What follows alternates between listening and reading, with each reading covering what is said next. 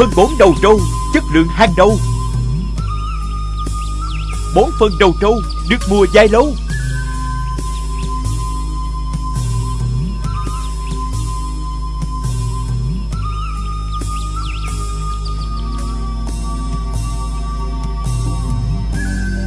Phân bón đầu trâu Bạn đồng hành của nhà nông. Cạo thả ga quà bao la! Khi quý bà con mua chai Nutec 300SC hoặc Anvin 5SC trên thân chai có dán nhãn chương trình cao thả ga quà bao la, bà con hãy cao phần trắng bạc để nhận một mã số dự thưởng và có cơ hội trúng các giải thưởng giá trị 16 giải nhất xe Honda Future 100 giải nhì TV 32 inch và hàng trăm ngàn giải thưởng thẻ cao điện thoại. Tổng giá trị giải thưởng hơn 3,5 tỷ đồng. Chương trình bắt đầu từ ngày 10 tháng 5 đến ngày 31 tháng 7 năm 2018 bà con, chào quý vị và các bạn đang theo dõi chương trình đồng hành và chia sẻ số tháng 7 được truyền hình trực tiếp trên sóng của Đài Phát thanh và Truyền hình Đắk Lắk và trực tuyến trên trang web drt.vn. Kính thưa bà con, thưa quý vị và các bạn, nhằm đáp ứng mong muốn của bà con đó là được giao lưu trực tiếp với các nhà khoa học, những thành viên trong ban tư vấn của chương trình để được giải đáp những thắc mắc của mình trong chăm sóc vườn cây. Thì từ năm 2018 và bắt đầu từ tháng 3 thì Đài Phát thanh và Truyền hình Đắk Lắk đã tổ chức những chương trình trực tiếp ngoài đồng ruộng. Cứ 3 tháng một lần thì chúng tôi lại tổ chức trực tiếp ngoài đồng ruộng để bà con có cơ hội được à, gặp gỡ trực tiếp với các à, nhà khoa học, những vị khách mời của chương trình. Và số tháng 6 vừa rồi lý ra thì chúng tôi sẽ tổ chức một chương trình trực tiếp ngoài đồng ruộng như đúng đã hẹn, đó là 3 tháng một lần. Tuy nhiên vì điều kiện thời tiết, chính vì vậy mà chúng tôi không thể thực hiện được chương trình này và chương trình đã phải chuyển vào ở trong hội trường của Đài Phát thanh và Truyền hình Đắk Lắk. Và đến chương trình số tháng 7 này thì bằng những nỗ lực của những người thực hiện chương trình đồng hành và chia sẻ thì chúng tôi lại tiếp tục thực hiện chương trình này rất nỗ lực để đưa chương trình này đến với đồng ruộng để bà con có thể gặp gỡ, giao lưu trực tiếp với các vị khách mời của chương trình để có thể được bày tỏ những thắc mắc của mình trong việc chăm sóc cho các loại cây trồng.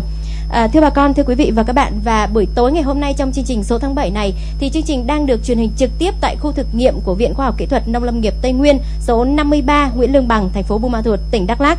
À, thưa bà con, thưa quý vị và các bạn, à, trong những năm gần đây thì một số loại cây ăn quả như là cây bơ, cây sầu riêng thì rất được bà con nông dân quan tâm và những cây trồng này thì cũng đang có giá rất là cao và việc chăm sóc cho những loại cây trồng này thì cũng đang nhận được sự quan tâm chú ý của rất nhiều bà con nông dân. Chính vì vậy mà chương trình số tháng 7 này chúng tôi sẽ đề cập đến đến chủ đề, đó là tư vấn chăm sóc cho cây ăn trái trong mùa mưa. Và ngay từ lúc này thì bà con đang theo dõi trực tiếp trên sóng DRT có thể gọi đến cho chúng tôi thông qua các số điện thoại. Đó là các số điện thoại 02626 256 777 0976 9793 97 và 01668 848 140 để được các thành viên ban tư vấn tư vấn, giải đáp cho bà con. Còn với bà con đang theo dõi trực tiếp tại khu vườn thực nghiệm của Viện Khoa học Kỹ thuật Nông lâm nghiệp Tây Nguyên thì có thể chuẩn bị câu hỏi ngay từ bây giờ để gửi cho các vị khách mời của chúng tôi. Ban thư ký của chúng tôi sẽ cập nhật những câu hỏi này và bà con có thể hỏi trực tiếp để nhận được phần giải đáp trực tiếp từ phía các vị khách mời. À, phần cuối của chương trình tư vấn ngày hôm nay thì à, như thường lệ chúng tôi sẽ chọn trao giải và ban tư vấn của chúng tôi trong các chương trình trực tiếp tại ngoài đồng ruộng thì sẽ chọn ba câu hỏi hay nhất để trao giải cho uh, quý khán giả có mặt trực tiếp tại uh, uh, ngoài đồng ruộng và ba phần quà này sẽ là ba bao phân đầu trâu kèm theo đó là ba phần quà giá trị từ phía công ty Syngenta Việt Nam với lượng thuốc bảo vệ thực vật trên 5 xào cây trồng. Và chúng tôi xin được giới thiệu cùng bà con những vị khách mời có mặt trong chương trình ngày hôm nay, các thành viên trong ban tư vấn. Đầu tiên xin được giới thiệu cùng bà con tiến sĩ Tô Nữ Tuấn Nam, nguyên cán bộ nghiên cứu Viện Khoa học Kỹ thuật Nông lâm nghiệp Tây Nguyên. Kỹ sư Ngô Ngọc Mỹ, phó phòng marketing phụ trách kỹ thuật công ty cổ phần phân bón Bình Điền. Kỹ sư Ngô Phi Tùng, giám đốc kinh doanh vùng Tây Nguyên, công ty Syngenta Việt Nam. Đến tham dự với chương trình đồng hành và chia sẻ số tháng 7 này thì còn có chính quyền địa phương, các hội đoàn thể cũng như là bà con nông dân. Và đặc biệt chúng tôi xin được giới thiệu một vị khách mời nữa, đó là tiến sĩ Trương Hồng, quyền viện trưởng Viện Khoa học Kỹ thuật Nông lâm nghiệp Tây Nguyên. Vâng và đến với chương trình ngày hôm nay thì chúng tôi cũng xin được hỏi tiến sĩ Trương Hồng ạ. À, không biết là trong thời gian vừa qua thì việc ờ, phát triển các loại cây ăn quả trên địa bàn các tỉnh Tây Nguyên nói chung cũng như là vùng Đắk Lắk nói riêng thì đã như thế nào và về phía viện thì sẽ có những khuyến cáo nào đến bà con để phát triển một cách hài hòa lại cây trồng này ạ? Ờ, vâng, xin cảm ơn MC Thanh Nhàn. À, thì thật ra đây là một câu hỏi hết sức lý thú mà à, bà con cũng đang rất là quan tâm. À, thì trong thời gian qua thì à, cái tình hình phát triển một số loại cây ăn quả à, có thể nói là giá trị kinh tế cao à, để mà trồng sen trong vườn cà phê mà tôi nghĩ đây là một cái giải pháp mà là hết sức phù hợp trong bối cảnh hiện nay. Mà nông dân chúng ta là hết sức à, thông minh sáng tạo đúng không ạ? À, chúng tôi là những nhà khoa học thì tôi thấy là đây là một cái cái mà gọi là à, đột phá của nông dân. À, và những nhà khoa học thì chỉ hỗ trợ nông dân để làm thế nào cho tốt thôi. À, thì thực ra thì hiện nay mà có lẽ có hàm ba đối tượng cây trồng mà bà con quan tâm trồng sen để vườn cà phê. À, bởi vì nói gì thì nói thì cái cái sản xuất cà phê chúng ta là cái cái, cái là cái nền là cái nền à, thì chúng ta chỉ trồng sen trong cái cà, vườn cà phê của mình để nâng cao cái thu nhập trên đơn vị diện tích để hạn chế những rủi ro trong sản xuất nông nghiệp đặc biệt là khi mà giá cà phê nó biến động theo chiều hướng bất thuận đúng không ạ?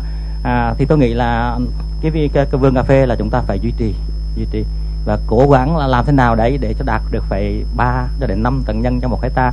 À, mà qua tổng kết của chúng tôi cho thấy rằng là hiện nay không ở Tây Nguyên thì cây cà phê là cây có thể nói là dễ trồng nhất dễ chăm sóc nhất à, bởi vì chúng ta có kinh nghiệm đúng không ạ? Và cây cà phê là cũng thật sự nó không phải là khó tính lắm. Nên chúng ta đầu tư thì có thể đạt được năng suất từ 3 đến 5 tấn là nhẹ nhàng trong cái điều kiện chúng ta áp dụng giống mới.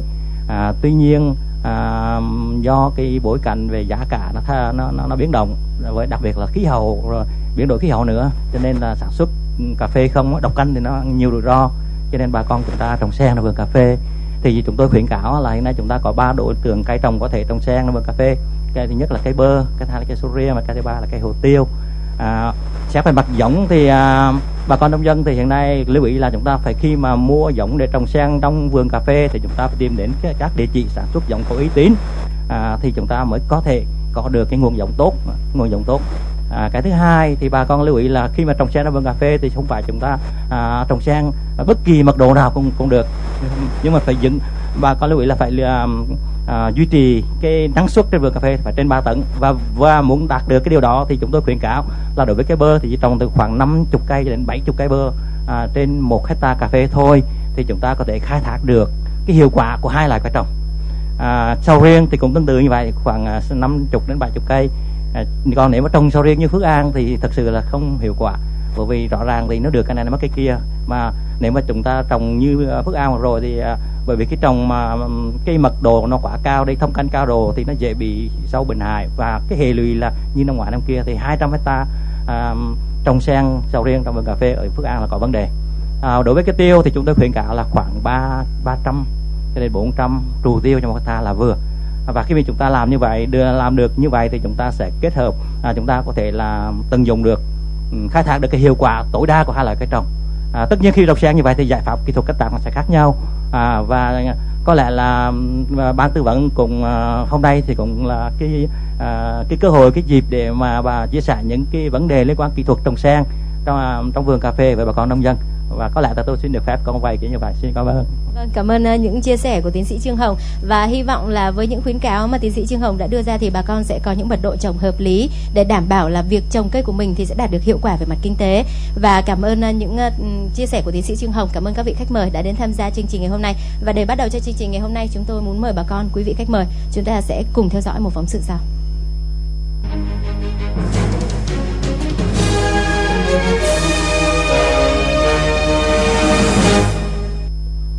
Cây sầu riêng là một trong những cây ăn quả cho năng suất cao và giá trị kinh tế rất lớn. Nếu như thời điểm cây ra hoa đậu trái hình thành trái non, nhà nông lo lắng về tình trạng rụng hoa, rụng trái non, thì thời điểm này, khi cây sầu riêng bước vào giai đoạn lớn trái, trái tăng nhanh về thể tích, vấn đề rụng trái đã khiến nhiều nông hộ lo lắng tìm biện pháp chăm sóc. Dẫn những người thực hiện chương trình đi thăm vườn sầu riêng hơn 20 năm tuổi, bà Nguyễn Thị Thủy Cúc ở Buôn Krông A, xã E Tu, thành phố Buôn Ma Thuột, tỉnh Đắk Lắk cho biết – cái khó của cây sầu riêng là bổ sung dinh dưỡng như thế nào cho cân đối, vừa phải đảm bảo các yếu tố trung vi lượng cho cây, vừa phải cân đối đạm lân kali để cây đủ dinh dưỡng nuôi trái, tránh dụng trái do cạnh tranh về dinh dưỡng. Cô trồng thì cũng được lớn thì được mấy chục cây, còn nhỏ thì cỡ trăm cây. Nhưng bây giờ cô là muốn là thời điểm này là mình cho phân gì để mà mình mình à, phun cái gì để cho nó đậu trái, nó khỏi rụng trái, nó chấm nấm nấm hồng nấm gì đó. Ờ, cô cô cô nghe là là là nói vậy nên là cô cô hỏi thử thử là, là là nó yêu cầu gì cái chất dinh dưỡng gì để cho nó nó nuôi cái cây cho nó nó đạt hơn á. Trồng sầu riêng gần 18 năm, anh Nguyễn Hữu Điệp ở thôn Tân Bình, xã Đắc Sắc, huyện Đắc Minh, tỉnh Đắk Nông cũng bày tỏ những lo lắng khi năm nay vườn sầu riêng nhà anh không chỉ dụng hoa mà bước vào giai đoạn trái non cũng bị dụng nhiều, năng suất cuối vụ giảm hơn so với mọi năm là điều khó tránh. À, trong khâu chăm sóc à, cà phê sầu riêng bơ nói chung là anh quan tâm vào cái dòng à, hải rễ là phần đá. cho nên anh hay tìm hiểu về bài thuốc về như tuyến trùng à, trực sáp rồi là uh, nấm phi tốt ra anh mong muốn được uh, tư vấn là làm sao cho bà con mình chăm sóc sầu riêng từ khi ra hoa thứ nhất là diệt trừ được cái à, để phá, à, hạn chế được cái bò cảnh cứng hay cái loại bò rầy nó hại hoa thứ hai là đến khi làm sao cho trái sầu riêng mà nó đầu được khoảng ừ, tối ưu á nó hạn chế sử dụng trái á, là bà con quan tâm lắm rồi. Không chỉ quan tâm đến các biện pháp chăm sóc, quản lý sâu bệnh hại cho cây sầu riêng, mà cây bơ bút cũng là cây trồng anh Điệp đang rất cần được tư vấn. Vườn bơ bút của gia đình anh Điệp năm nay mới cho thu bói, cây phát triển xanh tốt, cho nhiều trái, nhưng trái to bằng quả trứng gà là dụng. Do đó anh Điệp đang rất cần được tư vấn trong chăm bón cho cây bơ giai đoạn nuôi trái hiện nay. Anh là cùng à, trồng một ừ, được 65 cây bơ bút trong xe trong cà phê á mà năm nay mới bắt đầu có trái năm đầu tiên anh chỉ phân vân à, muốn tìm hiểu à, nhờ các chuyên nhà chuyên môn hỗ trợ cho về cái khâu chăm sóc làm sao cho nó hạn chế sử dụng trái trái non nó bắt đầu ra trái bằng chụp đỉnh nhỏ là nó bắt đầu rụng như hiện tượng năm nay bơ ra bói từng tương đối nhiều trái nhưng mà giờ hiện tại là nó rụng khoảng nào 2 phần ba rồi chỉ còn 1 phần ba nằm trên cây nữa thôi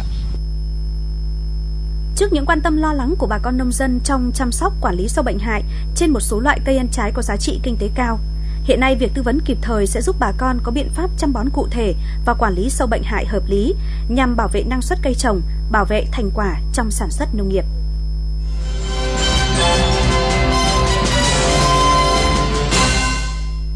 Cảm ơn à, đạo diễn Quốc Cường cũng như là ekip à, à, kỹ thuật với phóng sự vừa được phát và uh, sau khi theo dõi cái phóng sự vừa rồi thì không biết là ừ, các thành viên trong ban tư vấn đã được lắng nghe những băn khoăn, những thắc mắc của bà con trong việc chăm sóc cho hai loại cây, đó là cây sầu riêng và cây bơ. Và chúng ta sẽ bắt đầu với cây sầu riêng ạ. Xin được hỏi tiến sĩ Tuấn Nam là sau khi lắng nghe những cái băn khoăn thắc mắc vừa rồi thì uh, tiến sĩ có những cái chia sẻ gì đến bà con ạ? À, vâng, thưa bà con nông dân có mặt ở trường quay và toàn thể bà theo dõi uh, uh, chương trình ngày hôm nay. Thì uh, qua phóng sự chúng ta thấy rằng nỗi băn khoăn lớn nhất của người nông dân khi trồng bơ và cây ờ, sầu riêng là bị rụng trái non và rụng nhiều quá không phải là rụng sinh lý. Uh, nếu nó rụng quá cái mức bình thường người ta là, là có một cái nguyên nhân khác. Còn thường, bình thường cả cái cây ăn trái nếu như nó uh, có rụng nhưng mà rụng vừa phải không đáng kể và tới cuối vụ chúng ta vẫn đạt được năng suất cao như một cây sầu riêng trưởng thành đạt khoảng 80 trái tới 100 trái trái thì có thể chấp nhận ở cái mức độ đó. Còn cái chuyện rùng của nó là rùng sinh lý. Nhưng ở đây thì à, chị cúc rồi sau này là à, một số bà con nông dân nữa có nói là nó rùng nhiều lắm. Mà rùng hơn một phần ba gì tôi nghe thoại như vậy. Thì nó rùng để nổi mất sản lượng. Thì à, à, với cái chúng ta phải tìm nguyên nhau do cái sự rùng của nó. Nhưng mà đối với cái cây sầu riêng thì à, à, tổng kết từ những cái tài liệu cũng giống như tham vấn các cái cái à, kinh nghiệm của bà con nông dân mà trồng sầu riêng tốt tại cái vùng Đắk Lắk chúng ta thì à, chúng tôi có thể nói rằng là cái việc mà bón phân chưa hợp lý tức là nó sẽ tạo ra một cái sự rối loạn dinh dưỡng vào cái thời kỳ mang quả non à, làm và cái đột việc mà giữ độ ẩm cho cái vườn cây cũng chưa hợp lý tức là cái chế độ tưới nước và viền à, và và và cắt nước. Và ở tây nguyên chúng ta thì thường thường là cái tưới nước tưới chưa hợp lý và hoặc là để cho nó nghỉ dài quá trong những cái thời gian khô hàng mùa mưa đều là những cái điều có thể gây nên sự rụng quả một cách rất là nhiều như vậy. À, thì à, còn và và cũng có một cái nguyên nhân khác mà chị cúc ở đây có đề cập tới và mấy anh ở đây tức là những cái việc cái sâu bệnh rồi bệnh kể cả bệnh rễ cũng gây nên rụng quả này. Bệnh rễ thì nó hư bộ rễ thì nó không hụt được dinh dưỡng thì nó cũng rụng quả và à, những cái loài sâu bệnh hại mà cắn phá cái cái hoa rồi cái cái à, trái non của sầu riêng thì chắc là sau phần sau bình hài thì chắc là có anh Tùng. Anh sẽ chia sẻ thêm. Còn tôi xin xin chia sẻ, xin chia sẻ hai cái nguyên nhân, tức là rối loạn dinh dưỡng hoặc là bọn phân chưa hợp lý. Nói gọn lại là bọn phân chưa hợp lý. Và cái giữ ẩm cho cái vườn sầu riêng mình chưa hợp lý, nó gây nên rụng quả. Thì với cái nguyên nhân đầu thì chúng ta nghĩ, chúng ta cũng đều phải biết là các cái cây trồng nó cần cả đa lượng, trung lượng, vi lượng thì ai cũng biết hết rồi. Nông dân bây giờ là cũng rất là nắm bắt cái đó. Nhưng cái ở cái sầu riêng là nó khó là ở chỗ mình phải biết bỏ cái tỷ lệ đạm lân kali vào những cái thời điểm nào à, cho nó hợp lý để nó đừng bị có cái việc là dư thừa phân đạm vào cái lúc nó không cần. Thì như như giai đoạn quả non mà mới ra quả non nhỏ thôi mà bằng dư thừa phân đạm thì lập tức nó phát lá. Và cả người nông dân trồng sầu riêng sờ nhất là ra những cái đợt lá non vào trong cái giai đoạn à, mà đang ra hoa hoặc là đang đợi hoa hoặc là đang đang đang mang quả non à, vì điều đó nó sẽ có một cái sự cạnh tranh dinh dưỡng rất là mạnh liệt những cái đợt lá non đó nó ra là giống như cái bơm hút hút hết dinh dưỡng về phần nó. Là trái sầu riêng đầy trên cành rồi nhưng không có dinh dưỡng ăn thì nó sẽ rụng xuống. Như vậy thì ờ, như vậy cái chế độ bón phân toàn năm phải hợp lý thì chắc là sau anh Mỹ sẽ bên công ty Bình Điền sẽ chia sẻ. À, nhưng tôi chỉ nói là bây giờ lệ, nếu lỡ mà vào giai đoạn nào à, tôi chỉ nhắc cái nguyên tắc là thế này. Sau thu hoạch thì bón phân rất cần thiết và người người nông dân chúng ta phải chú trọng tới cái việc bón phân sau thu hoạch, đó là cái dịp để mà phục hồi cái sức khỏe vườn cây sau một vụ thu hoạch. Và là phải làm thế nào đó để cho nó ra được hai lần lá non, tức là hai cây. Nông dân mình hay gọi là hai cây đọt. Và các cái cây đọt đó phải thành thục trước khi bước vào cái cái cái mùa ra hoa đầu quả vào khoảng, ở tây nguyên thì vào khoảng tháng à, 10 tháng 1 dương lịch, tháng 12 tháng 1 dương lịch là bắt đầu phân hóa mầm hoa và à, và để mà mà nở thì như vậy nó phải ra, ra thành thục cái đã. Còn nếu không nó ra hoa. À, ra ra lá trong cái đợt mà ra hoa đầu quả thì rụng hoa. Chị à, cái chị toàn nói rụng cả hoa nữa. Rụng cả hoa rồi xong này ra quả rụng cả quả. Như vậy và khi lỡ khi mà chúng ta chăm sóc không không không được á chúng ta chăm sóc sơ ý mà không để cho nó phải ra lá non trong cái đợt mà ra hoa hoặc quả non thì bắt buộc chúng ta phải dùng thêm các cái loài phân bón lá có hàm lượng lân và kali cao mà bà con hay gọi là thuộc tràng đọt à, tức là MKP là monophosphate kali có hàm lượng phosphate à, phosphor rất cao và kali rất cao không có đạm. Để mà phun phun à, nhiều lần lên trên những cái đọt non đỏ bình thường thì khoảng một tuần tới 10 ngày phun một lần phun cả hai mặt lá để làm sao cho những cái đợt lá non nó ra một cách trải vồ như vậy nó thành thục sớm. Và và khi mà chúng ta phun như vậy thì những lá đó nó trực tiếp ăn dinh dưỡng nó không thu hút nhiều quả cái chất dinh dưỡng à, à, nó, nó nó từ từ quả lên nữa nó không rút đi. Thành ra cái quả là cái cơ hội đầu nhiều hơn. À, và có một điều nữa bà con phải chú ý để mà tránh rụng quả non thì bà con cũng phải chủ động để tỉa hoa. Cây đã mạnh mẽ rồi đó nè cây đã khỏe rồi à, phân hóa mầm hoang tốt rồi thì tỉa hoa rồi tỉa quả. Chỉ để lại cái số quả mong muốn trên những cái đoàn cành mong muốn. Thì như vậy dinh dưỡng mới có thể tập trung để nuôi những cái quả đó được. À, đó là về dinh dưỡng. Còn về à, về ẩm độ thì tôi thấy có một điều này có thể làm cho quả à, sầu riêng của cái vùng tây nguyên của chúng ta rụng. À, ở miền tây là họ có mương có rảnh rồi họ nuốt rút nước họ họ xả nước rất là chủ động. Còn của mình á, thì một số nông dân vẫn tưới vẫn nắm bắt được là đã sầu riêng ghép là tưới là quan trọng vẫn tưới từ khi ra hoa. Nhưng đến khi mà mùa mưa đến quả bắt đầu nhỏ nhỏ thì bà con lại có một vài trận mưa là có tâm lý chờ mưa có tâm lý chờ mưa là chờ những trận mưa khác mà.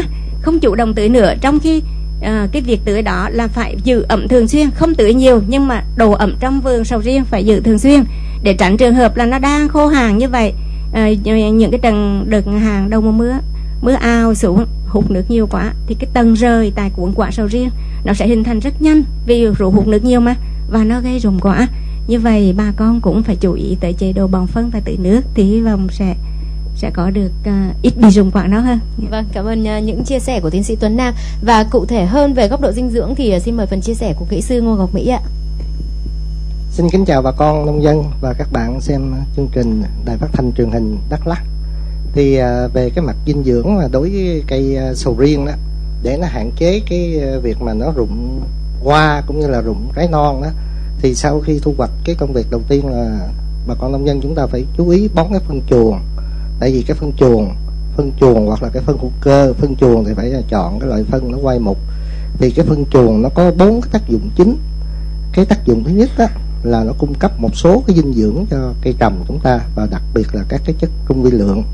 Và cái thứ hai nữa, cái phân chuồng đó, nó mới giúp giữ lại cái nước và cái phân bón sau khi chúng ta à, bón phân hoặc là chúng ta tưới nước vào. Và cái thứ ba đó cái phân chuồng nó làm cho cái đất chúng ta nó thông thoáng, nó tươi xốp, và cái rễ cây nó sẽ thoát nước nó tốt, và nó thở cũng tốt. Và cái điểm thứ tư là cái phân chuồng, nó là cái môi trường cho các cái vi sinh vật nó phát triển, để nó chuyển hóa những cái chất mà cây trồng chúng ta chưa hút được, nó nó sẽ hút được cái dinh dưỡng. Và cái đó là về phân chuồng, về các cái đa lượng như đạm, lân và kali đó thì cái cây sầu riêng nó đặc biệt đó là không bao giờ bón thừa đạm đó, mà bà con vẫn thường bị cái sai lầm bón cái thừa lạm, đạm cái chỗ là cái phân ure đó, trên cái bao nó ghi là 46 phần trăm. Tức là trong 100 kg phân ure thì nó có 46 kg đạm nguyên chất. Và cái phân SA đó là nó 21 phần trăm đạm, tức là trong 100 kg này thì nó có 21 kg đạm. Nếu cái phân SA thật sự trên cây sầu riêng nó mới có, nó mới có hiệu quả. Mà nếu mà bà con không dùng SA mà bà dùng, bà con dùng cái ure đó, thì nó xảy xảy ra cái hiện tượng thừa cái đạm ở trên ure.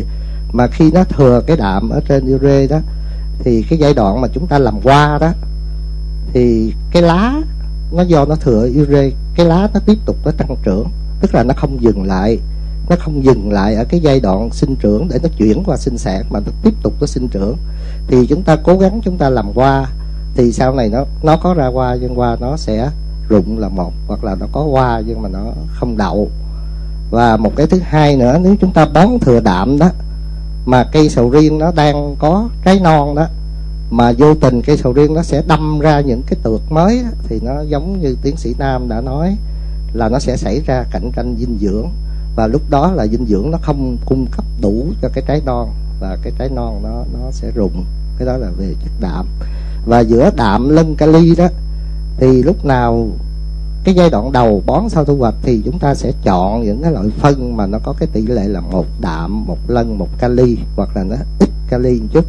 Ví dụ như đối với cái sản phẩm phân bón đầu trâu thì bà con có thể sử dụng cái phân đầu trâu xanh. Cái công thức nó là 16 16 cộng 13 à, 16 16 13 cộng TE TE là các cái chất trung vị lượng. À, về cái kali đó thì chúng ta nên chú ý là chúng ta không nên cái mua cái kali mà mà người ta bán phổ biến ở ngoài các cửa hàng bởi vì kali đó là kali chlorua tức là cái kali nó đỏ mình còn gọi là kali muối ớt đó. Thì cái hàm lượng kali này nó là 60 phần trăm và chúng ta chỉ nên xài cái kali, nó gọi là kali xuyên phát thì cái kali này, cái hàm lượng đó là 50 phần trăm. Nó mắc tiền hơn cái cái kali chlorua. Cái kali chlorua đó, sở dĩ cái cây sầu riêng đó chúng ta thấy không bao giờ nó sống ở vùng biển được. Bởi vì nó kỵ cái chất gì quý vị? Kỵ chất clo. Trong nước biển đó, thì nó có muối ăn, tức là chlorua natri cái muối ăn mà mình ăn cho mình thấy mặn đó, thì nó có chlorua natri thì cây cầu, cây sầu riêng nó nó không có thích cái chất clo thành ra mình canh tác cây sầu riêng là mình bón nhiều cái kali đỏ đó. Chlorua kali thì nó sẽ ảnh hưởng tới cái việc mà rụng hoa cũng như rụng trái. Và cái tỷ lệ về đạm lân kali đó nãy à, tiến sĩ Nam có trình bày thì giai đoạn đầu chúng ta có thể sử dụng là một đạm một lân một kali. Và cái giai đoạn mà nó chúng ta sẽ bón sau đó chúng ta sẽ xiết nước để nó ra hoa đó thì lúc đó thì chúng ta sẽ sử dụng cái tỷ lệ đạm, đạm đó là một thì lân nó phải ba và kali nó phải ba. Thì nếu chúng ta không biết phối trộn cái phân này thì chúng ta sẽ mua cái phân 16 16 13 TE thì chúng ta lấy chỉ 30 kg thôi rồi chúng ta thêm 40 kg DAP và chúng ta thêm 30 kg kali trắng nữa thì chúng ta trộn vào nó sẽ ra cái tỷ lệ là một đạm ba lần ba kali. Chúng ta bón cái giai, giai đoạn ra nó nó nó nó ra trái à, nó nó chuẩn bị mà nó nó nó ra hoa đó. Rồi đến cái giai đoạn nuôi trái thì chúng ta đơn giản nhất chúng ta cứ bón theo cái tỷ lệ một một một.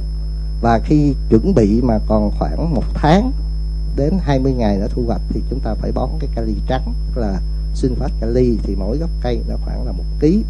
Thì đó là các cái chất à, đa lượng. Còn về trung lượng thì cây sầu riêng nó đặc biệt là nó thích cái chất gì quý vị? Quý vị phải lưu ý, đó là chất vôi. Nó rất thích cái chất vôi. Và một cái chất nữa là cái chất lưu huỳnh. Cái chất lưu huỳnh cũng là cái chất cái cây cà phê nó thích. Trên đất mà canh tác cà phê hay sầu riêng không có chất lưu huỳnh thì nó không tạo được cái hương vị. Và cái chất lưu huỳnh đặc biệt là những cái cây nào mà nó có cái vị béo là phải cần có cái cái chất lưu huỳnh. Chúng ta thấy đặc biệt là những trong những cái cây mà nó cho dầu á, cây có dầu rồi những cái cây mà nó có cái vị béo là là nó, và cái cái hương thơm đặc biệt đó, bắt buộc nó phải có cái lưu huỳnh. Thì chúng ta sẽ chú ý, chúng ta sử dụng cái lưu huỳnh. Thì cái lưu huỳnh làm sao chúng ta cung cấp cho cây sầu riêng? Thì nó trong cái phân SA đó quý vị. 100 kg phân SA thì nó có 21 kg đạm và 24 kg lưu huỳnh. Khi trồng cà phê thì bón SA lúc nào nó cũng tốt hơn là bón cái rê mặc dù cái rê nó là 46 phần trăm đạm nhưng nó không có cái lưu huỳnh và một cái chất nữa thì cái chất này nó cũng hạn chế cái việc mà nó rụng qua. Với rụng trái non rất là nhiều đó là canxi. Canxi đó thì sau khi thu hoạch đó thì chúng ta nên mua vôi bột để chúng ta rải ở, ở cái gốc của nó. Bởi vì chúng ta biết cái canxi đó nó là cái thành của cái vách tế bào trong cây chúng ta thì nó do nhiều cái tế bào nó, nó kết hợp lại giống như căn nhà của chúng ta thì mỗi một cái phòng là một cái cái tế bào. Thì cái canxi nó là cái cục gạch để xây nên cái phòng chúng ta đó. Cái cây khi nó đủ canxi đó thì cái thành dắt tế bào nó cứng. Và nó cứng như vậy thì cái sau này cái sức chống chịu nó sẽ mạnh. Và một cái điều nữa là canxi đó nó có cái nhiệm vụ nó trung hòa mấy cái axit hữu cơ ở trong cây. Nó giúp cho cái cây không có tạo nên cái tầng rời và trên cái những cái cây có gai đó quý vị, thì nó lại thích một cái chất nữa, nó gọi là silic. Thì silic sau khi cái canxi nó là cái cục xây nên cái cái phòng của chúng ta thì silic nó người ta hình dung nó như là cái lớp lớp hồ nó tô bên ngoài. Thành ra cái cây mà nó có đủ cái canxi và silic thì cái sức nó chống chịu rất là cao. Và chúng ta thấy những cái cây mà nó có gai thì cây sầu riêng là trên cái trái nó có gai đó, là những cái cây đó có cái chất silic trong đó thì khi mà nó có đủ canxi silic cái thứ nhất là nó cứng cây và cái thứ hai là nấm bệnh côn trùng thì nó tấn công, nó cũng không thích những cái cây mà nó có cái vỏ cứng vậy. Và cái thứ ba là một cái đặc điểm rất quan trọng, nó ngăn cản cái sự thoát hơi nước. Khi chúng ta mà tưới không đủ, thì chính cái lớp canxi và silic ở ngoài nó cản để cho cái hơi nước nó ít thoát hơn. Thì đó là những cái vai trò chính của các cái chất trung vi lượng mà cây cái cái cây um, cái sầu riêng nó cần thì bây giờ làm sao bà con bón được cái canxi và silic? Thì công ty cổ phần phân bón Bình Điền, nó có một cái sản phẩm, nhưng mà nó nó đặt cái tên thì quá đặc trưng do đồng bằng sông Cửu Long bị nhiễm mặn. Nhưng mà bản chất của nó là canxi và silic trong đó. Thì cái tên nó là đầu trâu mặn phèn. Chúng ta nghe ở đây thì chúng ta không hình dung được mặn là cái gì hết, phèn là cái gì luôn. Nhưng cái tên nó vậy. Nhưng mà cái bản chất của nó là canxi và silic ở trong và cái canxi này là chúng ta bón xuống cây nó hút được liền, chứ không phải là cái dạng vôi bột. Vôi bột chúng ta bón cả tháng sau cây nó hút được. Con này chúng ta bón xuống là nó hút liền. Còn về vi lượng đó thì cây sầu riêng nó đặc biệt là nó thích cái chất kẽm và cái chất bo. Thì cái chất bo là cái chất nó giúp hình thành cái hạt phấn và cái sức khỏe của hạt phấn để sau này nó thụ trái. Thì trong tất cả những cái phân mà chúng ta thấy nó bán ra thị trường cũng như phân đầu trâu ví dụ nó ghi 16, 16, 13 cộng TE thì cái chữ TE là nó biết tắt các cái chất trung vi lượng trong đó và trong đó là nó có kẽm với bo. Thì chúng tôi cũng xin phép sơ lược được một số cái, cái chất dinh dưỡng mà cây sầu riêng nó rất cần Dạ, xin vâng, cảm, ơn uh, phần uh, giải thích rất là rõ ràng, rất là cặn kẽ của kỹ sư Ngô Ngọc Mỹ dành cho bà con. Và cái phần giải thích vừa rồi thì có lẽ là cũng giúp cho bà con hình dung phần nào về cái việc là bổ sung dinh dưỡng trên cây sầu riêng như thế nào cho hợp lý. Và trong cái phóng sự thì bà con cũng có nhắc đến một số loại sâu hại và nấm bệnh. Xin mời phần tư vấn của kỹ sư Ngô Phi Tùng ạ. Vâng ạ, xin chào tất cả bà con và quý khán giả xem đài thì à, qua phần chia sẻ của kỹ sư mỹ à, của thạc sĩ mỹ cũng như cô nam về cái phần quy trình à, dinh dưỡng cũng như là chăm sóc, làm sao quy trình canh tác để làm sao cho cái sầu riêng chống hiện tượng rụng bông và rụng quả trong giai đoạn mùa mưa này. Và giải pháp bảo vệ thực vật cũng là một phần rất quan trọng để chống lại hiện tượng rụng hoa, rụng quả cũng như là rụng trái trên sầu riêng. Thì tôi cũng xin khải quát một số cái tình hình nấm bệnh hại, gây hại trên cây sầu riêng. Đặc biệt đầu tiên thì là phải kể đến là sâu uh, ờ, sâu hại uh, trên giai đoạn các giai đoạn của sầu riêng. Như trong giai đoạn cây đọt thì thường thường là côn trùng gây hại chủ yếu nhất trong giai đoạn cây đọt thì thường là rầy nhảy. Và rầy nhảy này thường thường tấn công vào đặc biệt là các giai đoạn của lá bắt đầu phát triển lọc non và nó tấn công vào phía mặt dưới lá. Gây ra hiện tượng là tất cả những lá của chúng ta là nó bị hiện tượng vàng và hình như là bị thun đọt. Đây là một cái đặc trưng gây ra hiện tượng rụng bông và rụng quả sau này và trong giai đoạn mà bắt đầu cái sầu riêng trong giai đoạn ra bông thì hiện tượng là sâu ăn bông thì cũng xuất hiện. Và sâu ăn bông này đặc trưng làm cho tất cả quả sầu riêng chúng ta có hiện tượng là bị lép lửng và không có những cái phần không không thu phận thu phận không đầy đủ thì gây ra hiện tượng trái sầu riêng chúng ta bị lép. Trong giai đoạn hiện là sầu riêng mang trái thì có rất là nhiều côn trùng gây uh, gây hại đặc biệt là ở trong giai đoạn này thì có sâu đục trái bởi vì lúc này trái sầu riêng đang giai đoạn non và sâu đục trái rất là dễ hình thành và phát sinh phát triển. Thì nó tấn công ngay vào cái phần uh, phần cuống của quả và đẻ trứng vào trong đó. Thì trong cùng với quá trình phát sinh phát triển của quả sầu riêng thì nó sẽ uh, ăn sâu vào trong uh, thân của cây sầu riêng uh, trong quả cây sầu riêng làm cho quả sầu riêng chúng ta là không hút được dinh dưỡng và và rụng và cùng với uh, các sâu bên hại thì còn ngoài ra thì còn có xẻ tóc sén tóc thì gây chữ hại chủ yếu trên thân và đặc biệt là gây hại trong giai đoạn chủ yếu trong giai đoạn mùa khô làm cho thân của cái, cái chúng ta không hút được dinh dưỡng. Đi kèm với uh, nấm sén tóc thì uh, lúc này thì lượng nước nước trong điều kiện có bữa ẩm thì rất là dễ bị nấm tấn công và cái hại đặc biệt là nấm phytophthora gây hại trên cây sầu riêng. Và trên nấm bệnh của cây sầu riêng thì cũng có rất nhiều nấm bệnh hại gây gây hại quan trọng. Ví dụ như trên tiêu thì có bệnh chết nhân do nấm phytophthora, thì ở trên cây sầu riêng cũng có, tương tự. Phytophthora palmiora gây hại. Và phytophthora này thì nó gây hại chủ yếu trên thân của cây sầu riêng và trên cành của cây sầu riêng. Và nhưng nhớ chúng tôi là lúc nếu như ba con để ý ở trên cây thân của cây sầu riêng thì có một cái hiện tượng là tất cả có có, có những vết nấm nằm chạy dọc theo theo theo thân. Và đặc biệt là để ý vào buổi sáng thì thường thường là có những vết là như những vết nhũ dầu như những vết như vết mật ong. Thì đó là những cái đặc trưng của nấm phytophthora gây hại trên thân. Và trong giai đoạn này bắt buộc chúng ta phải cào sạch cái lớp vỏ này và quét cái nấm phytophthora uh, quét ờ, uh, bằng một số sản phẩm của Sinta thì là tôi sẽ giới thiệu sau. Và ngoài ra thì một bệnh hại cực kỳ quan trọng trên cây sầu riêng là hiện tượng chết đọt hay là người bà con nông dân thường hay gọi là bệnh tổ kiến.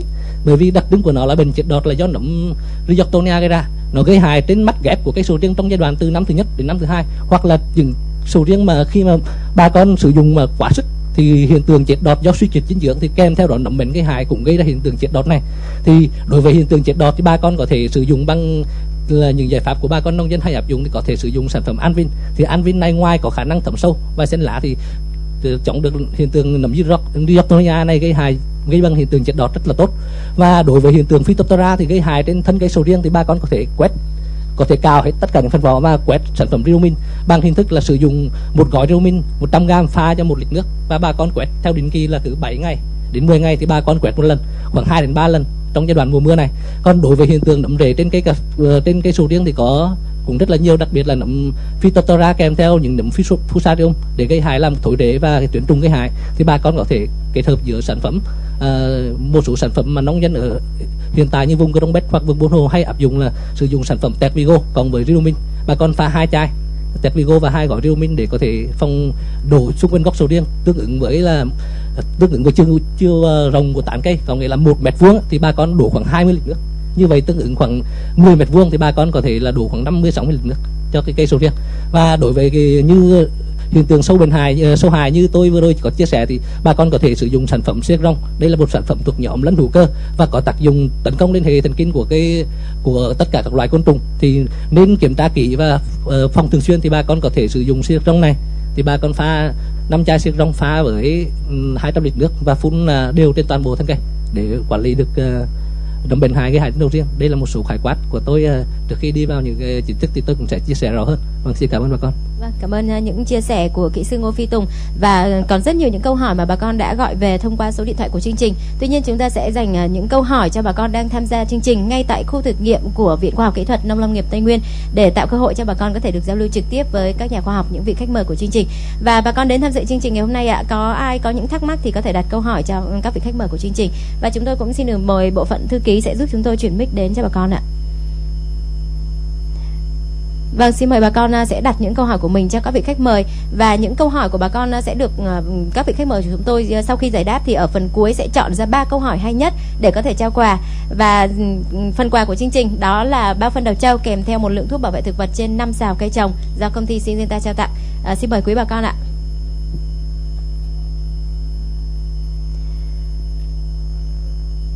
Vâng và có lẽ là trong lúc bà con vẫn còn đang à, suy nghĩ cho mình những câu hỏi làm sao cho thiết thực nhất đối với vườn cây của mình thì chúng tôi xin được đến với những câu hỏi mà bà con đã gọi thông qua số điện thoại của chương trình.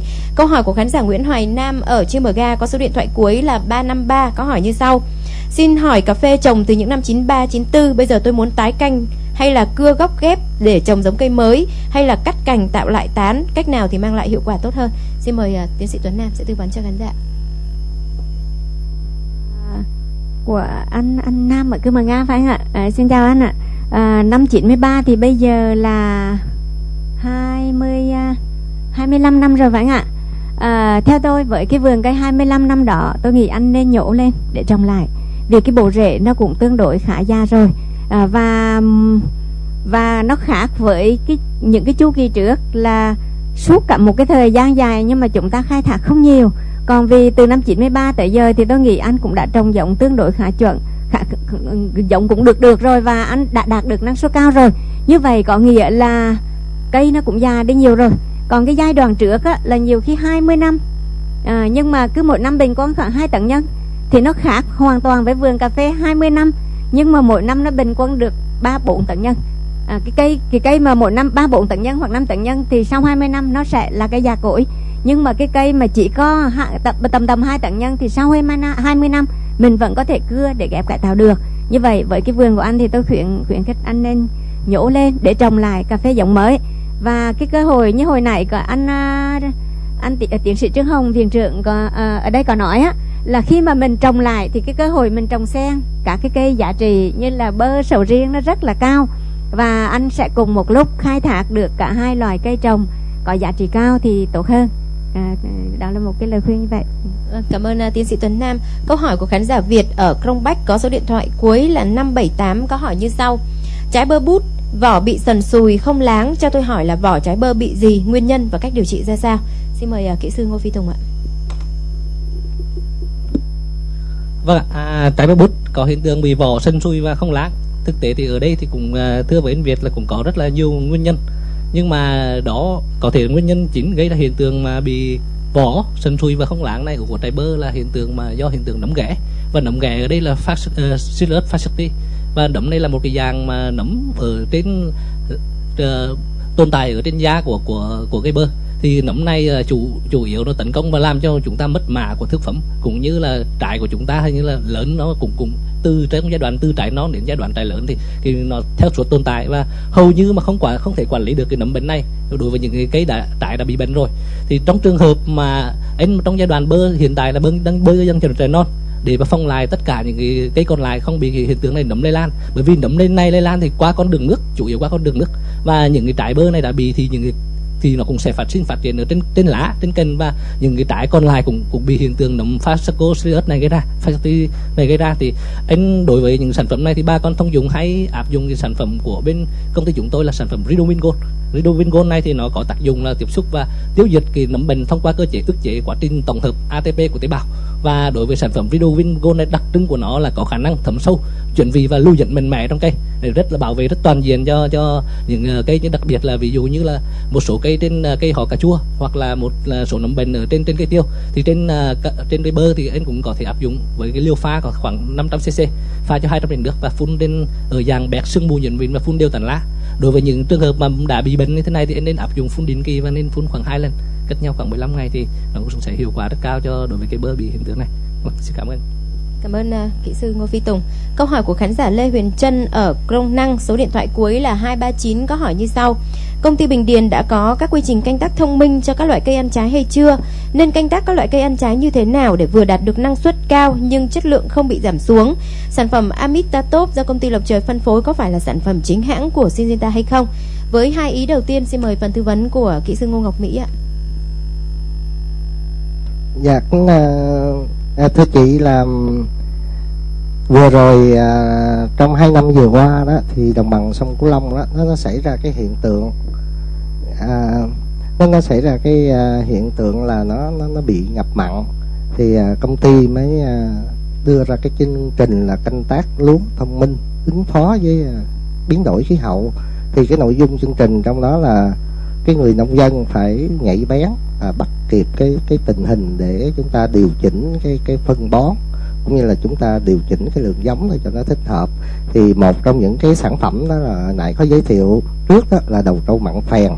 Thì cái phân này nó chủ yếu là nó cung cấp cái chất silic và cái chất canxi là hai cái chất trung lượng rất quan trọng mà cây trồng chúng ta cần. Thì trên cây ăn trái, bà con nông dân chúng ta có thể sử dụng cái đó để chúng ta cung cấp cái canxi và cái chất silic thì cái trồng của chúng ta nó sẽ cho cái năng suất nó tốt hơn. Vâng, cảm ơn ờ, phần ờ, tư vấn của kỹ sư Ngô Mỹ và với ý thứ hai thì sao ạ? Trong câu hỏi có ý thứ hai nữa ạ. Dạ cái ờ, cái cái sản phẩm thứ hai thì nó không phải là cái sản phẩm của vâng à, với ý thứ hai của câu hỏi ạ đó là có nên canh tác các loại cây ăn trái như thế nào để vừa đạt được năng suất cao nhưng chất lượng lại không bị giảm và xin mời phần tư vấn của kỹ sư Ngô Ngọc Mỹ sẽ tiếp tục ạ.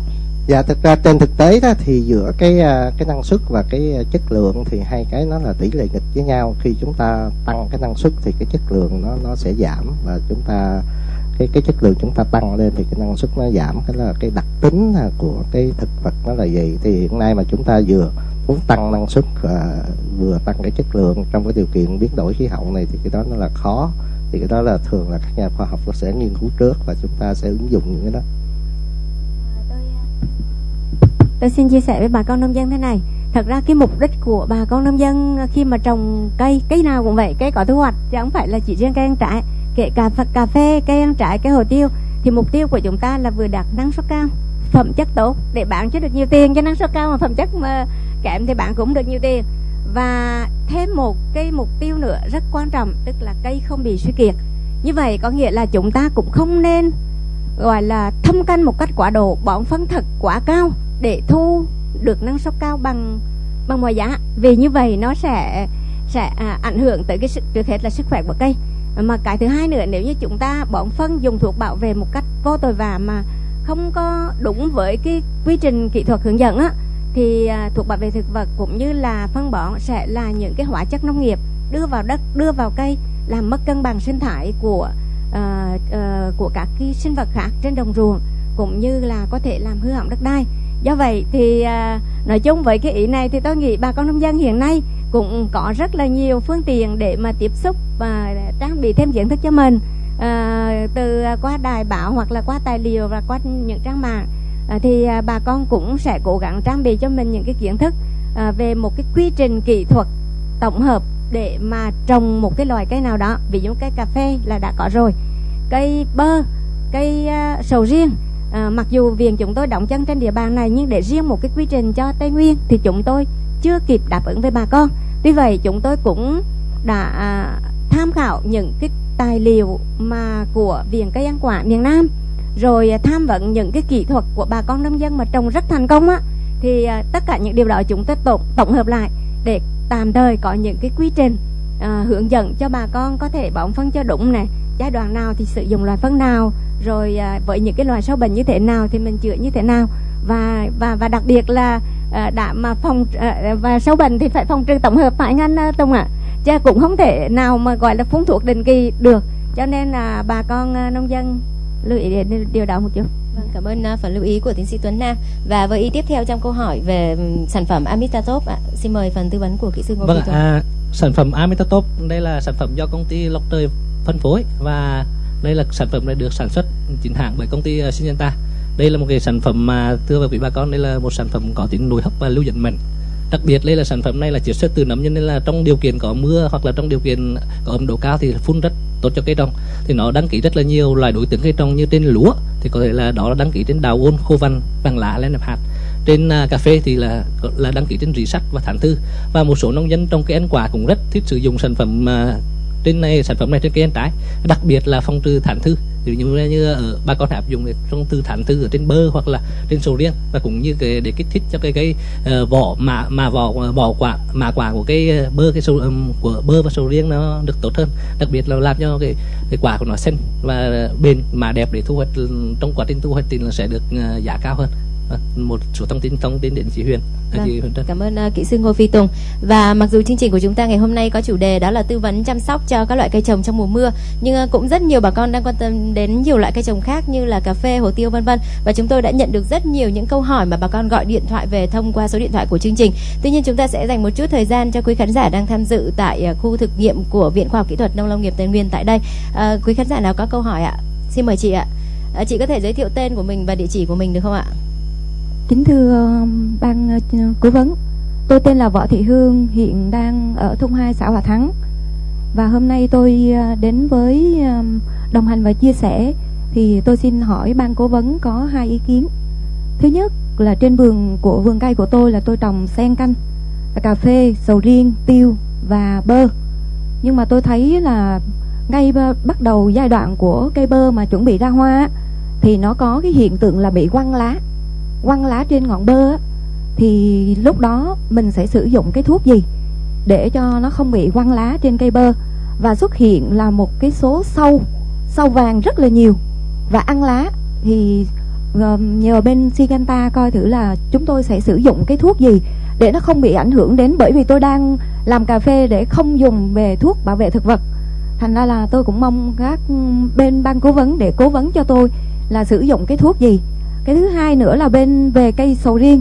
Thì hiện nay á, là sầu riêng của tôi á, thì cũng được rất là nhiều. Nhưng mà có một số cây á, thì lại được đậu trái ra cùng trên một diện tích và cũng ra hoa trên một cùng một lúc. Nhưng mà có cây thì hầu như là bị rụng hết hoa không đậu một trái nào. Thì đó là về do bị thiếu chất dinh dưỡng hay là do cái vùng đất nó bị sao mà nó không bị không được ừ, đậu trái. Cũng như là cây bơ hiện nay cũng là có cây á thì đậu trái rất là nhiều nhưng mà có cây thì không đậu trái. Nên mong ban cố vấn cố vấn cho tôi để tôi sẽ sử dụng. Thứ nhất là cách um, kỹ thuật về bón phân. Cái thứ hai nữa là về cái kỹ thuật để phun phân để phun uh, thuốc bảo vệ thực vật để cho đảm bảo được vừa những cây trồng ở trên diện tích của tôi đang sử dụng. Tôi xin chân thành cảm ơn. Vâng cảm ơn uh, câu hỏi của chị Hương. Và phần tư vấn với ý đầu tiên xin mời kỹ sư Ngô Phi Tùng ạ. Vâng à, chào chị Hương ạ à, câu hỏi của chị là có hiện tượng ở ngọn của cái bơ không có hiện tượng bị quăn vào trong giai đoạn à, ra đọt non đúng không chị? Thường thường là hiện tượng này trong giai đoạn ra đọt non chủ yếu là bò xịt lấy cái hại và nó sẽ hiện tượng chích hút và đối với cái bọt của của của, của, của bò xịt lấy này rất là độc.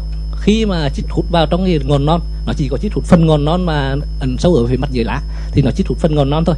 Khi mà nó chích hút thì nó sẽ tiết một lượng nước bọt vào trong thân của cái làm cho khả năng hút dinh dưỡng của của cái đọt sầu riêng gần như là mất hoàn toàn. Khả năng quang hợp rất là yếu. Nên là gây ra hiện tượng mà đọt non có hiện tượng quăn và khô héo hoàn toàn. Nhiều bà con thì hay nhầm đó là hiện tượng thản thư và mất năng suất. Nhưng mà chủ yếu là do hiện tượng bò xịt lưới gây hại. Và bò xịt lưới này là gây hại về về chiều, chủ yếu về chiều, về đêm. Và đối với chỉ cân tắc an toàn thì như tôi cũng có chia sẻ thì bên Syngenta trước đây có một sản phẩm Icon chuyên phun cho sản phẩm Icon này là chuyên phun cho cho uh, trong y tế. Thì bên sản phẩm chúng tôi có một sản phẩm là Karate 2.5 EC đây là cùng hoạt chất lambda cytorin nó rất an toàn trong giai đoạn ra bông ra hoa và cũng rất an toàn cho người. Thì chỉ có thể sử dụng này để có thể thuốc có thể tiếp xúc vị độc và xua đuổi cho cho, cho cái, cái cái bơ. Thì đối với liều lượng pha thì chỉ có thể mua karate này và chỉ pha với cái liều lượng là 250 cc karate pha cho 200 lít nước. Và chỉ có phun ở những uh, trên những đợt non trong giai đoạn ra đọt thì rất là hiệu quả trong việc phòng ngừa và xua đuổi bọ xịt muỗi. Cảm ơn uh, kỹ sư Ngô Phi Tùng. Và với ý thứ hai trong phần tư vấn về uh, cái hiện tượng uh, sầu riêng dụng không đậu hoa đậu quả trên cái vườn sầu riêng của gia đình chị Hương thì xin mời phần tư vấn của tiến sĩ Tuấn Nam ạ. À, đây là một cái câu hỏi lạ là vì chị nói là chỉ trồng trong cùng một vườn trồng sen trong cùng một vườn à, à, mà sầu riêng mà có cây thì đầu trái đàng hoàng nhưng có cái không đầu trái nào thì à, nếu như chị trồng toàn cái ghép mà thuần chủng nếu cái cái ghép mà đã ghép giống monthon cả thì tôi nghĩ rằng cái chuyện này sẽ không xảy ra. À, hoặc là trừ khi bản thân cái cây không đầu tí nào là năm trước đã thu hoạch được rất nhiều nhưng mà chỉ à, do có cái chế độ chăm sóc không hợp lý không bón phân nó bị kiệt sức thì à, tới năm này nó sẽ đầu rất là ít hoặc là thậm chí là vào lúc ra hoa cũng tưới như nhau. Nhưng mà vì cái cây đó nó kiệt sức thì à, nó không ra kịp hai tầng là nó vào cái sau thu hoạch. Cho đến lúc ra hoa nó ra lá thì là nó không có đầu thì à, với cái cây bơ à, thì cũng có cái điều, hiện tượng tương tự. Cây bơ bột cũng có cái hiện tượng tương tự. Và cái cây bơ bột mà những cái cây kiệt sức là thường thường nó là những cái cây mà hơi yếu nó cái cảm ứng với nước sớm hơn và nó sẽ nở hoa sớm hơn. Và đôi khi do cái thời tiết nó nở hoa sớm hơn. Như năm vừa rồi những cây nào nở hoa sớm ở trong vùng của chúng ta năm nào nở hoa sớm thì những cái đó nó đầu nhiều hơn là những cái cây mà nở hoa vào cái dịp cái cái cái đợt sau sau chỉ chừng 15 ngày thôi nó gặp trong trận mưa là thế nào là nó không thì à, tôi cũng không biết rõ lắm tình trạng của chị nhưng chỉ có thể là là như vậy tại vì nó cồn trồng trong trong cùng một vườn thì chế độ chăm sóc như nhau mà Vâng, cảm ơn à, phần à, tư vấn của tiến sĩ Tuấn Nam và hy vọng là chị Hương đã uh, có những cái giải đáp cho cái thắc mắc trong cái việc chăm sóc cho vườn cây của mình. Và với bà con đến tham dự chương trình ngày hôm nay thì có ai có câu hỏi dành cho các vị khách mời của chương trình nữa không ạ? Vâng, uh, xin mời uh, chú ạ.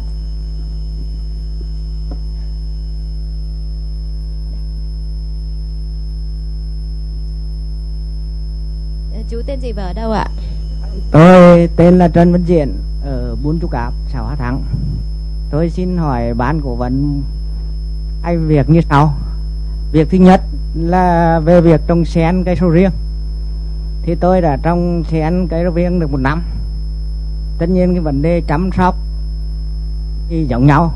Nhưng khi nó đã có hiện tượng này, khi nó rụng lá già tức là cây sầu riêng được một năm á rụng là già sau phát triển là non sau đó là chết chân từng cành và đi đến là chết luôn đó là hiện tượng thứ nhất đối với cây sầu riêng trong một năm rồi á thì xin ý kiến của ban tư vấn cái vấn đề thứ hai tôi có hai cây sầu riêng. Thải năm nay là cũng đã 10 năm rồi. Chăm sóc cũng giống nhau. Nhưng giờ hiện nay là một cây quả to rồi. Nhưng mà rụng không còn một quả nào cả. À, một cây thì vẫn có rụng nhưng nó nằm ở khoảng hai phần rụng mất phần ba. Cái quả là đều. Tất nhiên cái hiện tượng đó như thế nào cùng hai cây giống nhau và chăm sóc như nhau hết. Nhưng mà một cây rụng không còn quả nào nói thế nó rụng nó để một quả không còn quả nào cả Đây, xin hỏi ban tư vấn. Xin hết. Vâng, cảm ơn uh, câu hỏi của khán giả Trần Văn Diễn và ý đầu tiên. Xin mời Vâng, xin mời tiến sĩ Tuấn Nam ạ. thì một năm thì chết á hả? À, thì à, cái à, thật ra cái việc trồng sầu riêng và sau đó nó bị bệnh nó chết là tương đối nhiều. Chính vì vậy mà mà nó bị bệnh có thể nó nhiễm bệnh từ bộ rễ và cũng có thể do cái chế độ tưới của chúng ta trong mùa khô vừa rồi nó không hợp lý. À, thì à, mãi tới mùa mưa này mà nó bắt đầu phát bệnh nó chết. Do vậy mà lúc đầu có anh à, Trương Hồng anh ngồi đây thì anh nói là các bà con mà trồng cả cái cây ăn trái cây lâu năm thì nên mua ở những cái cơ sở có tín nhiệm và cây giống đạt tiêu chuẩn nhưng phải sạch bệnh là cái quan trọng nhất. Tại nếu như chúng ta trồng và tôi uh, ờ, mà nó bị nhiễm bệnh anh nói là nó đi chết đi đến chết hoàn toàn thì tôi liên tưởng tới cái việc nó bổ rễ nó không phát triển. Nó mới không hút được nước không hút được phân nó khô hạo héo đi và nó chết hoàn toàn. Ban đầu thì nó chững lại. Như vậy thì uh, uh, có thể là uh, khi mà nó chững lại là mình đã bắt đầu mình thăm vườn kỹ mà thì mình sẽ có những cái biện pháp mình xử lý sớm.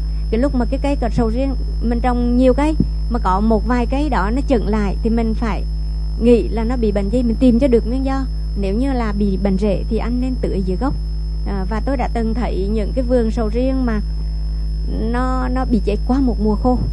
Qua tức là sang năm thứ hai đầu mùa năm thứ hai là bắt đầu nó chết rất là nhiều. Và tôi là đánh giá những cái vườn đó nó do chạy đồ tưới nước trong cái mùa khô đó không hợp lý. Tưới nhiều quá nó cũng chết tưới nhiều quá nó cũng cũng cũng sẽ làm cho phát triển rễ rất là nhanh tới khi mưa ập xuống là nó nó chết khá nhiều. Thì à, cái cái đó anh về anh xem xét lại coi thử thế nào à, và vậy thì bây giờ mình phải trồng lại vấn đề là anh trồng lại. Nhưng mà trồng lại rồi ấy, thì anh nên xử lý cái hộ đó xử lý bệnh tật và bón cho thật nhiều phân chuồng. Và lưu ý một điều nữa là trồng sầu riêng cũng không nên trồng sâu như cà phê gọi là trồng ấm á. Trồng mình ờ, vì mình tự bồn trồng sầu riêng anh phải lấp cho bằng mặt hộ bỏ nhiều phân chuồng lấp bằng mặt hộ tại cái rễ cái sầu riêng nó cũng không chịu được nhiều nữa anh trồng ngang mặt đất tưới ẩm vừa phải thì chế độ điều khiển cái chế độ tưới cho tốt.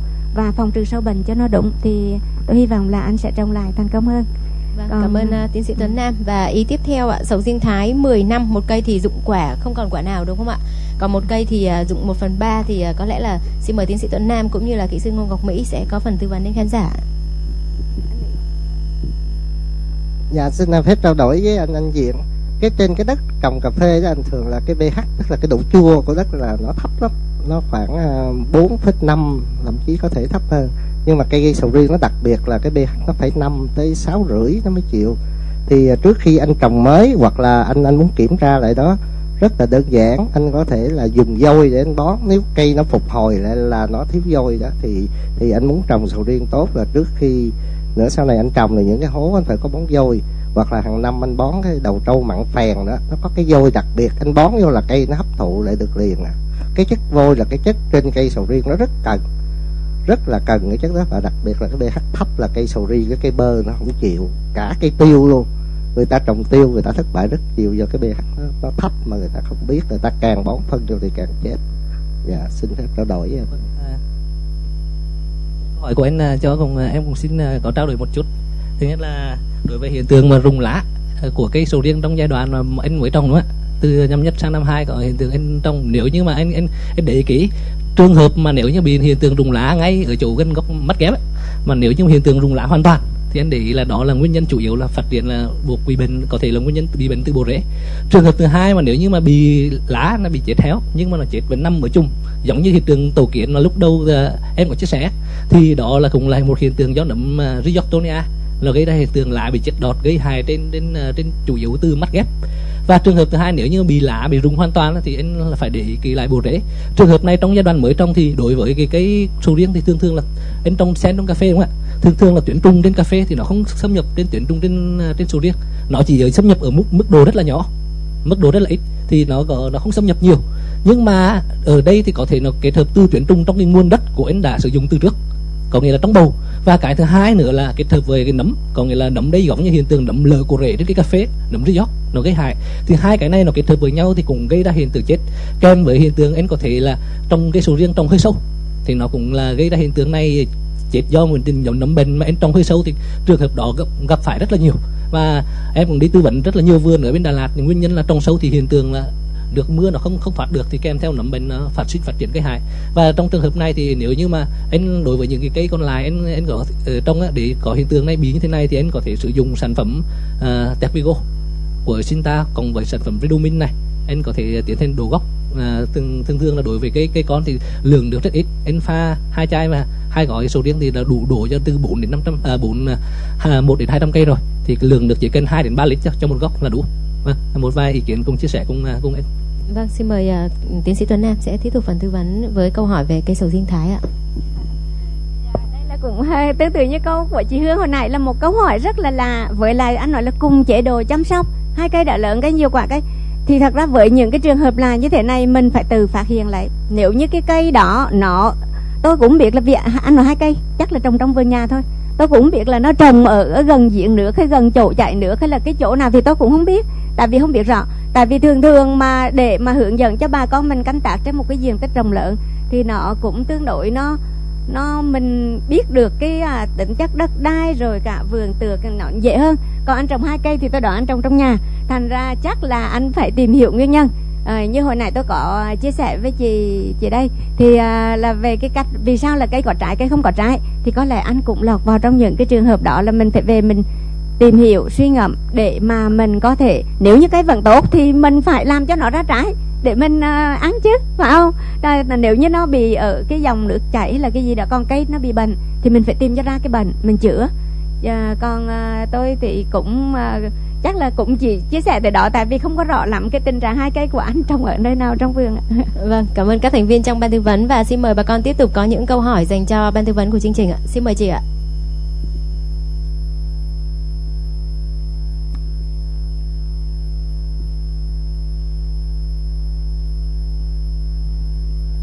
Thể giới thiệu về mình và địa chỉ của chị?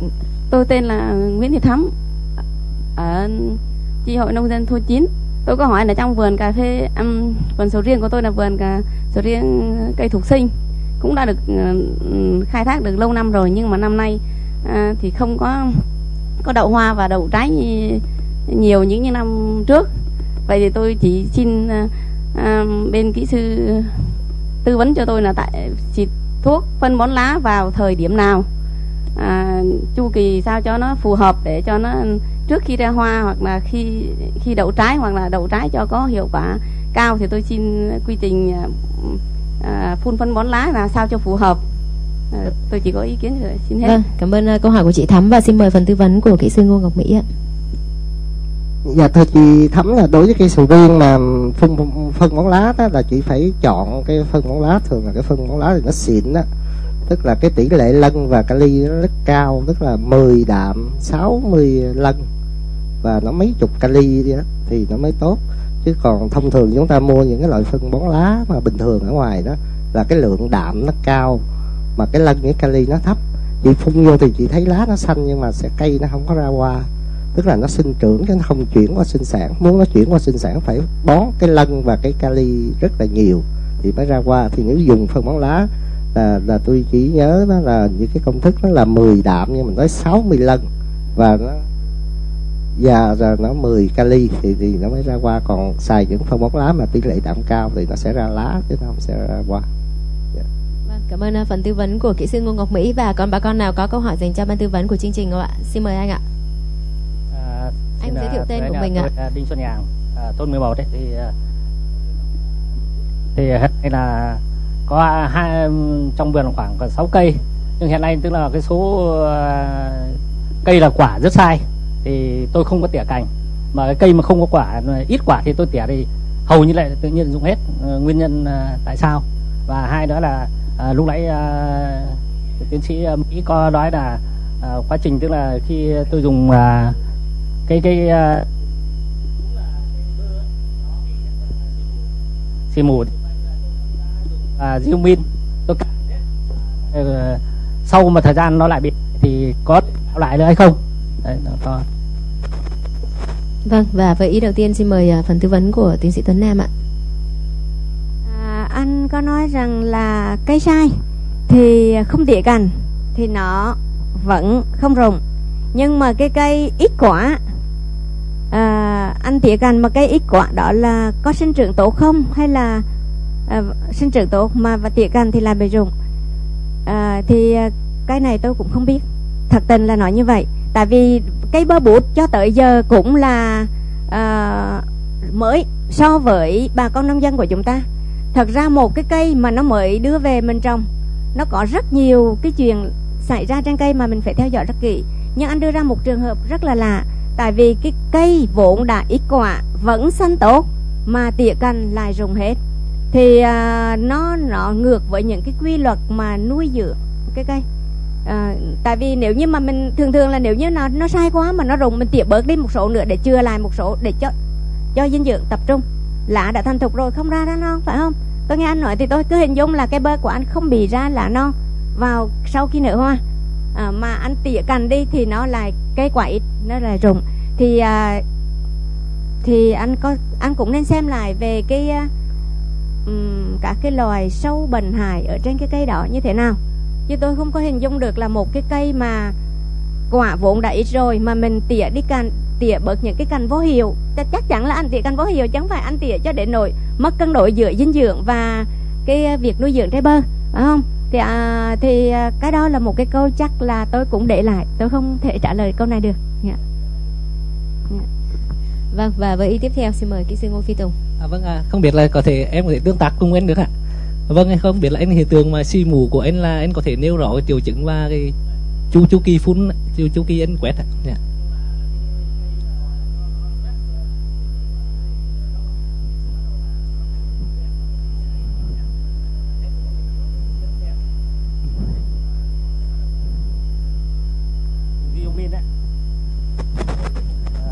min là coi như quét. Quét xong một thời gian thì nó lên lại cái lớp da xong bắt đầu tiếp tục uh, một thời gian sau nó lại bị bị lại. Vâng vâng. Anh anh quét mấy lần anh nhỉ dạ. tôi không nhớ nhưng mà đại đại đại đả là cứ sau khi nó được bắt đầu lại quét lại. À, vâng. Vâng à, xin cảm ơn anh. Đối với uh, cái sản phẩm Diromin thì sản phẩm này nó có tính nồi hấp và lưu dẫn mạnh trên cây. Tuy nhiên, đối với cái trường hợp một nấm phi, nấm phytophthora gây ra hiện tượng si mù thì là nó phát sinh, phát triển trong điều kiện rất, có ẩm độ rất cao. Trong điều kiện càng có mưa nhiều và có ẩm độ thì phytophthora phóng thích cái đồng bào tử trong môi trường nước càng lớn.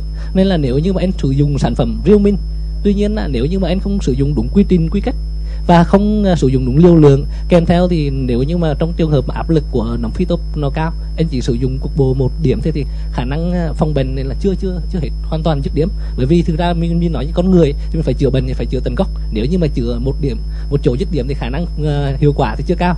Nên là nếu như mà anh trong trường hợp của đối với cái cái bơ của anh thì uh, cũng xin anh là cũng xin thưa anh là trong trường hợp đã có bị nấm phytophthora gây hại ở trên trên trên uh, trên thân rồi thì anh có thể ngoài cái việc mà anh quét gốc và phun định kỳ ví dụ như là 100 gram pha với một lít nước và anh quét hai lần, phải quét ít nhất hai lần, cách nhau từ, cách nhau khoảng một tuần. Và ngoài ra thì anh phải phun phòng định kỳ, bởi vì phytophthora nó không chỉ gây hại ở trên trên thật mà còn gây hại ở trên trên lá của cây bơ cũng như một số cây trồng khác như cây sầu riêng, thì ờ, hoặc là những cây ăn quả khác thì nó cũng gây hại. Nên là anh phải kết hợp giữa việc quét và việc phun thì là nó sẽ khống chế được ờ, hiệu quả hơn nha. Em vâng xin cảm ơn em.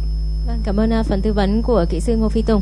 Và rất tiếc phải thông báo với bà con đó là thời lượng của dành cho chương trình của chúng ta đã sắp hết. Và um, trong chương trình đồng hành chia sẻ số tháng 6 thì khán giả ở thành phố Buôn Ma Thuột có số điện thoại là 0913883087 thì đã được ban tư vấn của chúng tôi chọn trao giải nhất. Tuy nhiên khi chúng tôi liên hệ thì à, vẫn chưa nhận được phần hồi đáp của khán giả và chúng tôi cũng rất mong là khán giả nhận được giải nhất thì sẽ liên hệ với chương trình để có thể nhận được phần quà của mình. Và tiếp tục chương trình ngày hôm nay chúng tôi xin mời bà con, quý vị và các bạn sẽ cùng đến với những hình ảnh trao giải cho khán giả nhận được giải nhì của chương trình.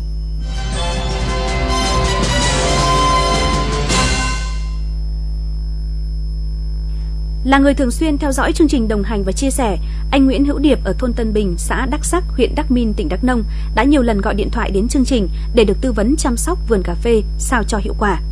Và trong chương trình tháng 6 vừa qua, câu hỏi anh Điệp đã được ban tư vấn chọn trao giải nhì.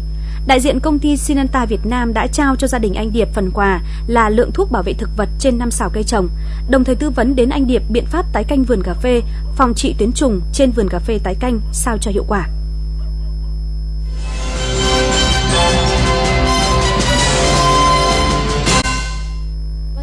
Chúc mừng khán giả đã nhận được ờ, giải nhất ờ, và giải nhì của chương trình trong chương trình số tháng 6 và chúng tôi cũng xin được nhắc lại là hy vọng khán giả nhận được giải nhất của chương trình thì sẽ liên hệ với ban tư vấn của chương trình để có thể nhận được quà tặng của chương, của mình. Và trong chương trình số tháng 7 này thì ban tư vấn của chúng tôi đã quyết định chọn trao 3 giải. Đó là các khán giả có tên sau đây. Khán giả Võ Thị Hương khán giả Trần Văn Diện và khán giả Đinh Xuân Nhàn sẽ nhận được phần quà của chương trình.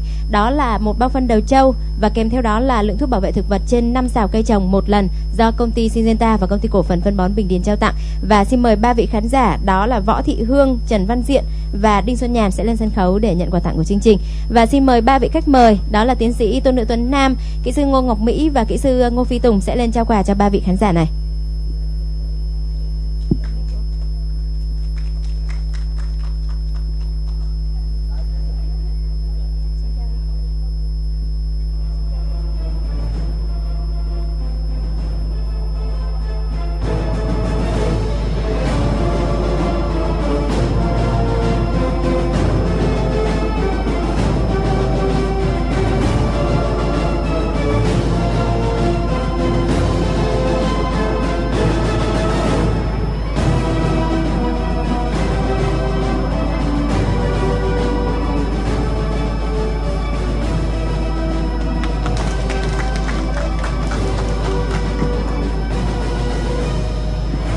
Vâng, một lần nữa thì ờ, xin được chúc mừng ba khán giả đã nhận được quà tặng của chương trình và chúng tôi cũng xin cảm ơn ba vị khách mời đã dành cho những vị khán giả của chương trình những phần quà thật hấp dẫn.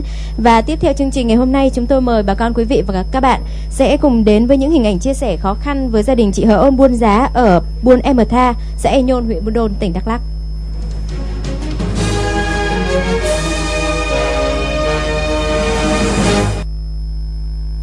Lập gia đình và ra ở riêng từ khi còn trẻ, hai vợ chồng chị Hờ Ôn ở Buôn Em Đá, xã E Nhôn, huyện Buôn Đôn, tỉnh Đắk Lắk cũng cố gắng tạo dựng cho mình một cuộc sống hạnh phúc đủ đầy. Trong câu chuyện của mình, chị Hờ Ôn kể về những tháng ngày chồng chị đi phụ hồ, còn chị đi làm thuê khắp nơi để có tiền phẫu thuật cho cậu con trai đầu lòng đã không ít lần bị lồng ruột. Chị Hờ Ôn cho biết nhà có 3 sào cà phê nhưng không có tiền chăm bón nên cà phê năng suất thấp, chỉ khoảng 2 tạ mỗi vụ. Thông cảm với hoàn cảnh khó khăn của gia đình chị Hở Ôn và động viên vợ chồng chị tiếp tục lao động, chăm lo sản xuất, công ty cổ phần phân bón Bình Điền đã trao cho gia đình chị Hở Ôn 5 bao phân đầu trâu và tư vấn cách chăm bón để nâng cao năng suất cà phê, giúp gia đình chị có thêm thu nhập, tiếp tục vượt qua những khó khăn trong cuộc sống.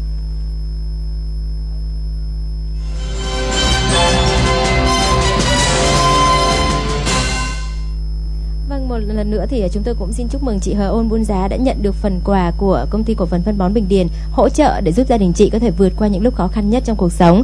Và đến đây thì à, chương trình đồng hành và chia sẻ của Đài Phát thanh và Truyền hình Đắk Lắk số tháng 7 cũng xin được khép lại. Một lần nữa thì xin được cảm ơn các vị khách mời đã đến tham gia chương trình của chúng tôi ngày hôm nay. Cảm ơn à, rất đông quý bà con đã đến tham gia ủng hộ cho chương trình. Cảm ơn tất cả các đơn vị, sở, ngành và đặc biệt là Viện Khoa học Kỹ thuật Nông lâm nghiệp Tây Nguyên đã giúp đỡ chúng tôi thực hiện chương trình này. Xin kính chào và hẹn gặp lại bà con trong chương trình số tháng 8.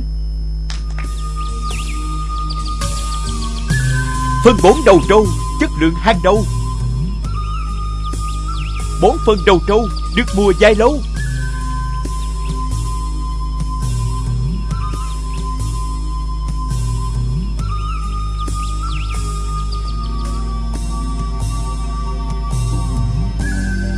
Phân bón đầu trâu bạn đồng hành của nhà nông.